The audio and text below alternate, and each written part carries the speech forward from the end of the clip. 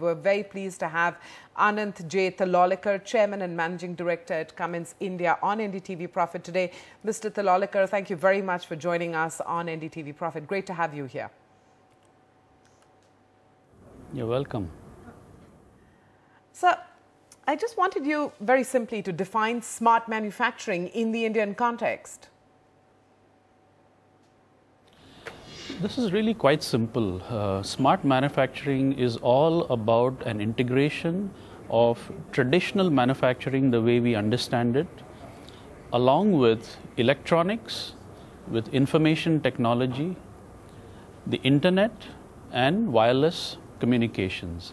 So, when these five areas come together, this is what creates smart manufacturing and therefore transforms something that is mostly brawn to a lot of brain. That's an easy to understand uh, definition. How much progress have Indian companies, India in general, made on the smart manufacturing front?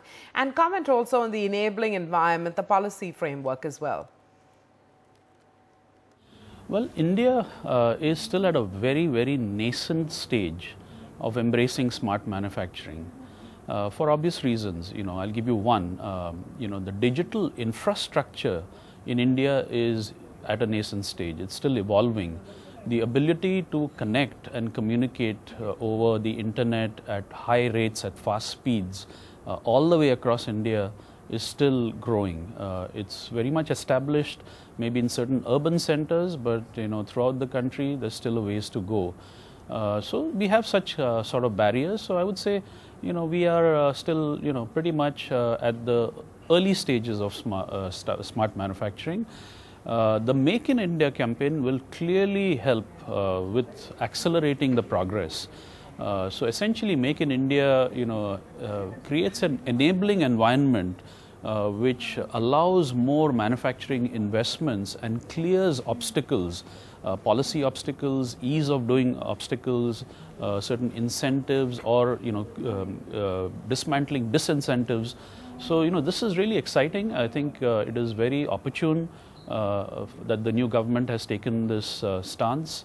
Uh, and the CII Manufacturing Council is working very, very closely with the DIPP and other ministries on making Make in India a reality.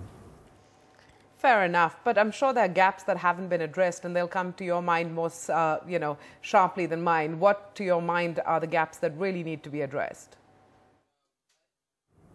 Well, uh, you know, one example of a very important, uh, you know, policy that is yet to be addressed, but of course it's a hot topic, uh, is GST. Uh, now, GST, uh, you know, creates, uh, you know, a lot of simplicity for manufacturers in India, and of course for other industries. But certainly, manufacturers in India today have to face a plethora of indirect taxes, uh, depending on which states they belong to. They have to face central taxes. Uh, so the GST's intent was to, you know, clear all of these complications, which are also rife, uh, you know, with corruption uh, potential, uh, and create a transparent and very, very simple uh, indirect tax process. Uh, but as you can see, uh, you know, it's still bogged down with, uh, you know, politics, uh, which is, of course, uh, a normal part of any democracy. but, you know, this is, this is one example of a policy, let's say, that would be very helpful once it gets through. of course. let's talk about Cummins India, if you will. How is the Indian arm positioned to capitalize on the manufacturing restructuring being undertaken, you know, by the parent Cummins? Um, my view is that uh, the Indian arm is very well positioned uh, to um, you know participate and help the global parent uh, become stronger uh, from a you know competitiveness perspective. Uh, the reason I say that is because uh, you know the Indian arm has been an Indian citizen now for the last 50 almost 54 years since 1962. So we are a very mature uh, business. We are not a new startup uh, without uh, experience.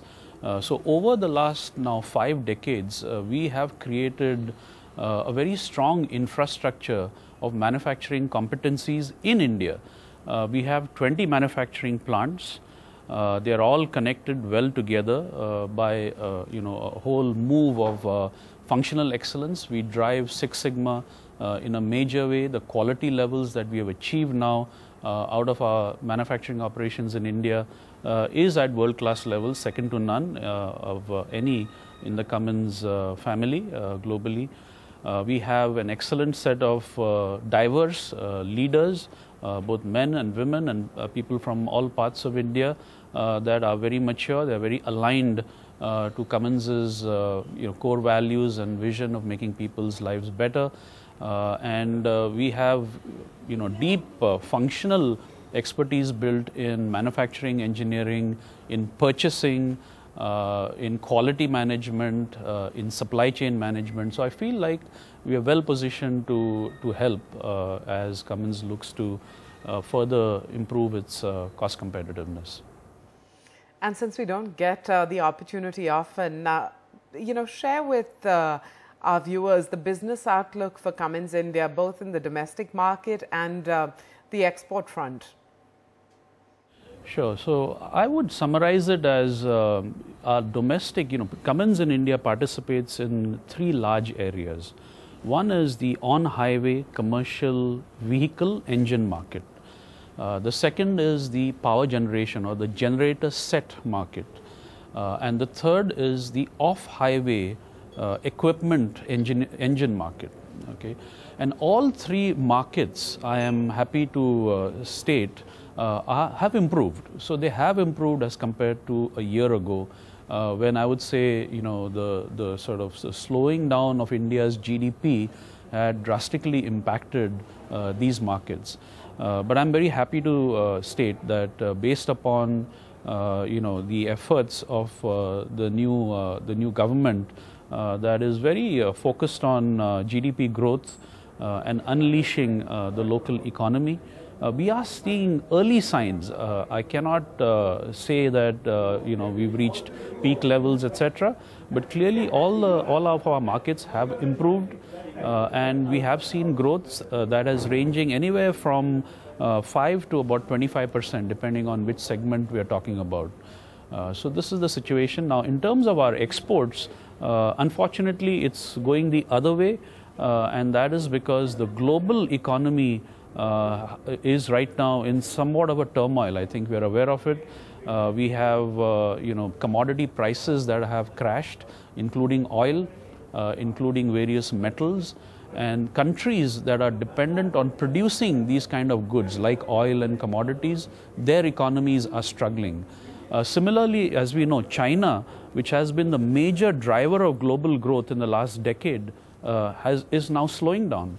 Uh, and in fact, even consciously slowing down uh, to convert its economy to be more consumption based and to correct some of the massive infrastructure investments they had been making.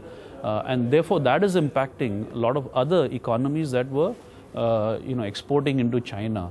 Uh, so with all of that, uh, you know, our exports actually uh, are looking actually flat to down right now. Anant Talaulicar, thank you very much for your insights uh, on Cummins India, on uh, smart manufacturing in India in general, and the importance of the GST bill. Great talking to you. thank you for joining us on NDTV Profit.